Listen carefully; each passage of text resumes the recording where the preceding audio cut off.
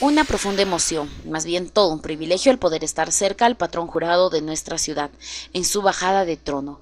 Esta hermosa experiencia fue compartida por los fieles cusqueños que se dieron cita en la Catedral del Cusco para ver al Taitacha de los temblores, a quien le elevaban plegarias y oraciones que se confundían con el olor del incienso y la melodía de las chaiñas. El día de hoy está bajando de su altar mayor para estar más cerca a su pueblo, para escuchar la plegaria de todos sus hijos cusqueños. Y yo le pido la bendición a todos sus hijos del pueblo del Cusco para que aumente nuestra fe y todos vivamos como hermanos. Me encanta estar al lado de él, pedirle todo lo que puedo, todo lo que quiero lo de mi hijo, los problemas, todo, ¿no? De este modo, la imagen de nuestro patrón es preparada para tomar lugar en el altar mayor de la Basílica Catedral, mientras se aguarda la tradicional procesión del lunes santo.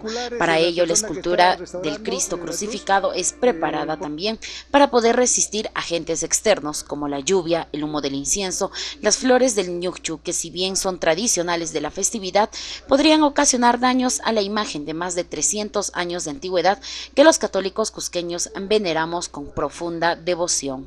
Nosotros tenemos un, convenio con la Dirección Nacional de Cultura donde hacemos este, sus este, respectivos este, tratamientos de, la imagen.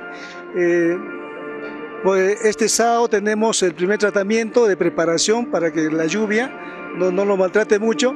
Y después de la procesión también tenemos el tratamiento con la Dirección Nacional de Cultura, que son los especialistas ¿no? para el tratado de, de la imagen del Señor.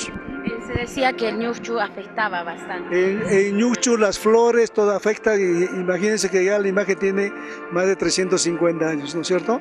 Participarán más de 27 cuadrillas que tendrán el privilegio de llevar en hombros la imagen de nuestro Taitacha de los temblores.